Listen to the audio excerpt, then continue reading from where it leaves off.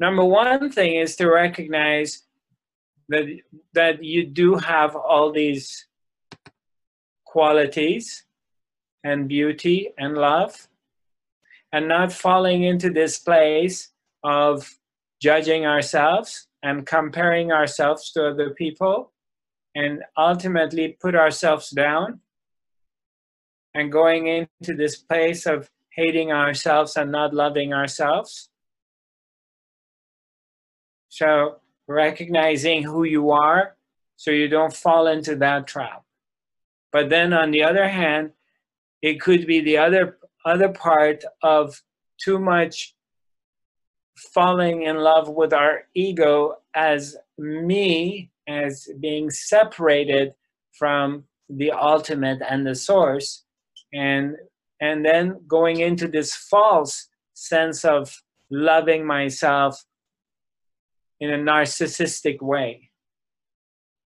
So there's there's a this middle path of recognition of recognizing your divinity and recognizing who you are recognizing that you're connected you're one and you're part of the grand the, the supreme soul and the grand spirit and you do carry all the qualities of the divine being.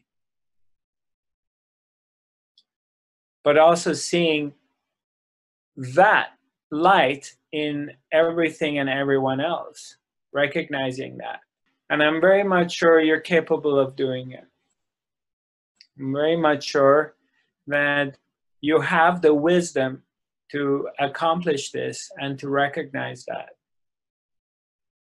Because you have the intelligence, you're wise. And a part of doing that is A, is to learn meditation, to be quiet, to have, to cultivate this um, quality of self observation, not self judgment, but self observation of being able to come outside of yourself and observe yourself as you observe other things. And B is to continuously always come back in this place of love, of recognition of the love that is here the love that you have access to. And sometimes it gets very enhanced because you connect with another human being and you meet someone and you love them. Uh, and then the love which exists within yourself gets really enhanced, or the love you have for your kids or your parents. And when you come across this powerful, enhanced love, know that this love is coming from you. Know that you're the source of it. You're the source of love. And in recognition that you are the source of love, you begin to realize that it's not a conditional type of a thing. It cannot be taken away from you. It's always here. And the more you recognize it, the more animated it gets, the more powerful it becomes, and the more you're capable of giving it. And it flows even stronger by being able to share your love with other people. But first is you have to go beyond this self-judgment. You have to go beyond this self-hate and not judging yourself.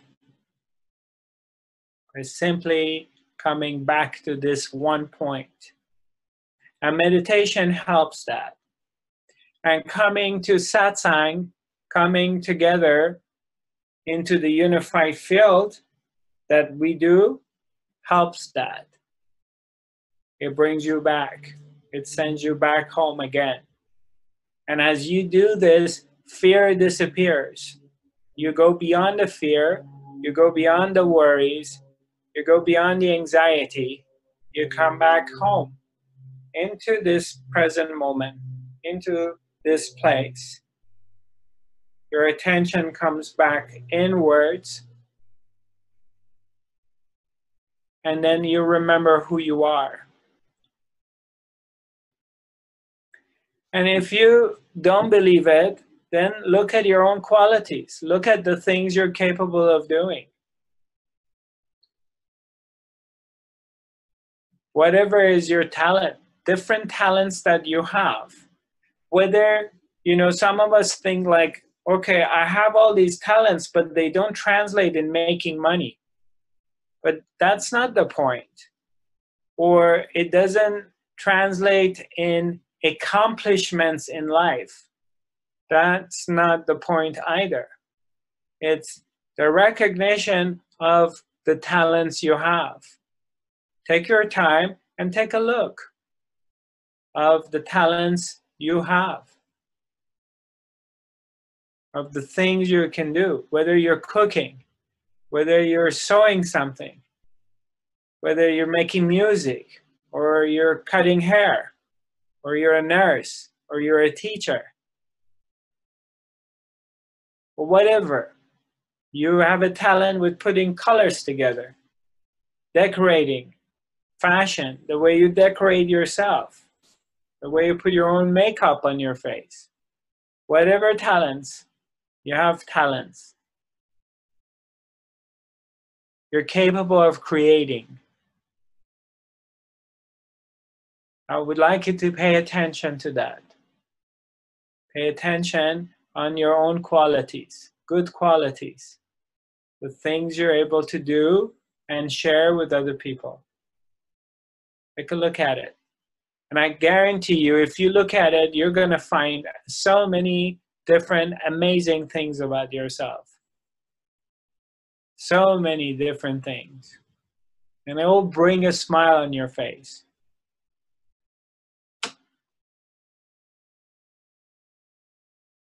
it will bring a smile on your face. Because sometimes we fall into this routine life and everything gets repeated and repeated, and we forget. We forget about the magic that you bring to life. Your magic.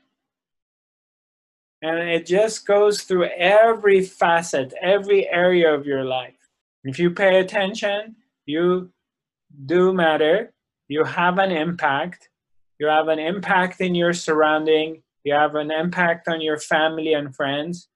And even if you call a friend, simple phone call, ask him and you're sincere in asking him How are you doing, my friend? How are you? I have been thinking about you so happy to hear your voice. And just that simple gesture, if it's coming from your heart, it has an impact on somebody you care for. And that changes things for them and it brings them love. Because in that moment, you sincerely share your love with somebody you care for. And that changes them. And you have that ability.